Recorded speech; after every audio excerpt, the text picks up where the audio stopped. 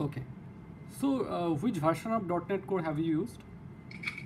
Uh, latest version only uh, we are using. Okay. Latest version as in? Uh, 3, 3 plus only. Okay. So, latest is 7 preview, right? So, we have uh, 5, 6 and now it is 7 yeah so 3 is i think it is released somewhere between 2020 and 19 okay fine. What about angular? So do you know angular or any of the front end like vue.js or react.js uh, angular i know. I have worked on to the angular 9 version for writing down the single page application the components. Okay. And what about sql so do you have any expertise in sql Yes, yes. In SQL, I have expertise. I have written lots of complex queries and data over, uh, and the fetching out the data, optimizing the SQL queries, store procedure functions, those kind of work I have done.